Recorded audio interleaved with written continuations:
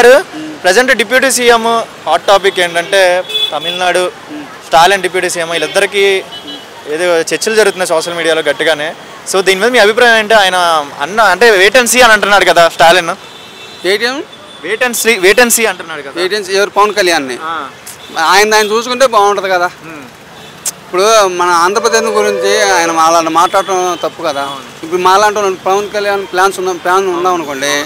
మాలాంటి కోపం వద్దగా ఆయన ఏదో ఒకటి అంటా ఉంటాం. ఈ కరెక్ట్ కాదు ఎవరు చూసుకుంటే బాగుంటుందని నా అభిప్రాయం. కావాలని అని ఉంటారా? పవన్ కళ్యాణ్ నిజంగానే వ్యక్తిగతంగా కావాలని అని అంటారంటారా?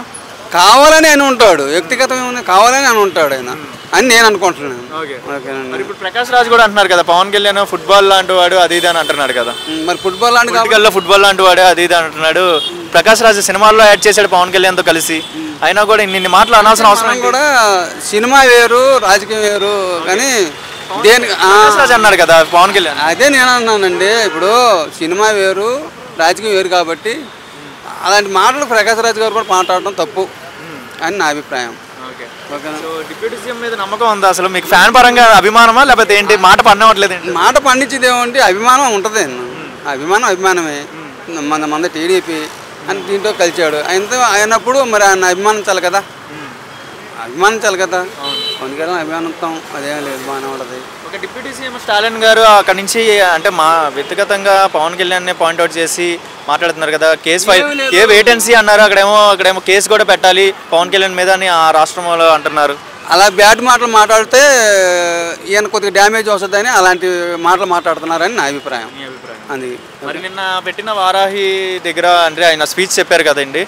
ఆ స్పీచ్ విన- నేను చూడలేదు వినలేదు కాబట్టి దాని గురించి నేను మాట్లాడాలంటే బాగోదు కదా. మాట్లాడినా ఏం మాట్లాడినా క్యాస్ట్ పరంగా వస్తారు పవన్ కళ్యాణ్ అని అంటున్నారు. నిజంగా ఆయన స్పీచ్లో మంచిగా ఉండిద్దా? క్యాస్ట్ విభేదాలు ఉంటాయి ఆయన మంచి అందరి గురించి బాగానే మాట్లాడుతున్నాడు ఎవడైనా సరే. నా క్యాస్ట్ నాది అది అని చెప్పట్లేదు కదా ఎక్కడా కూడా. నేను అందరి కోసం వచ్చాను. నేను అందరి వాడిని అని అన్నాడు. అంతే కదా. దీంట్లో మీరు డిప్యూటీ సీఎం స్టాలిన్ గారిని సపోర్ట్ చేస్తారంటారు? పవన్ కళ్యాణ్ మాటలను సపోర్ట్ చేస్తారంట నేను ఆయన్ని సపోర్ట్ చేసి ఈయన సపోర్ట్ కాదని అని కాదు. యువతలు చూసుకోవడం బాగుంటుంది. అలాంటి మాటలు మాట్లాడకూడదని నేను నమ్మకం డిప్యూటీ సీఎం పవన్ కళ్యాణ్ మీద నమ్మకం ఉందా మీకు? ఉంది. ప్రస్తుతం డిప్యూటీ సీఎం పవన్ కళ్యాణ్ మీద చాలా వరకు అంటే తమిళనాడు డిప్యూటీ సీఎం స్టాలిన్ గారు కామెంట్స్ ఇచ్చారు కదా దాని మీద నీ అభిప్రాయం ఏంటి? జస్ట్ వెయిట్ అండ్ సీ అని అంటున్నారు కదా. అవన్నీ రూమర్స్ అండి అవి మొత్తం. సో స్టాలిన్ గారికి అంత అనుభవం ఏముంది? మన పవన్ కళ్యాణ్ కన్నా అంత అనుభవం లేదు కదా. ఆడు తండ్రి నుంచి వచ్చింది వారసత్వం కింద వచ్చింది అది. మన పవన్ కళ్యాణ్ అంటే వాడు స్వతహ స్వంతంగా నిల్చొని అలా ఎదిగి అలా పైకి వచ్చిన వ్యక్తి. అలాంటి రాజకీయం గురించి ఇతని తెలుసు కానీ అతనికి ఏం తెలుసు? ఓకే. మరి అంత వ్యాఖ్యలు వేసరాల్సిన అవసరం ఏంటి ఆయన?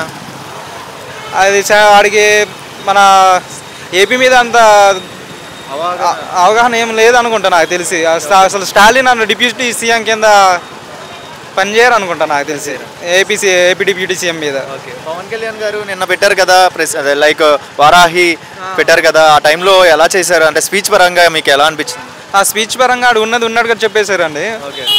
అంతకు మించి ఇంకా జనాల్లో ఇంకా ఎక్కువగా మోటివేట్ చేయడం చూస్తున్నారు. ఓకే. ఇప్పుడు ప్రకాష్ రాజ్ కూడా అంటున్నారు కదా పవన్ కళ్యాణ్ ఒక ఫుట్బాల్ లాంటి వారు అటుపక్క ఉంటారు ఇటుపక్క ఉంటారు సంథింగ్ ఆయన కామెంట్స్ చేస్తున్నారు కదా. లేదు పవన్ కళ్యాణ్ ఇప్పుడు అభివృద్ధి కోసమే పాటుపడే వ్యక్తి కానీ ఇటు పక్క అటు పక్క అనేది ఏం లేదు.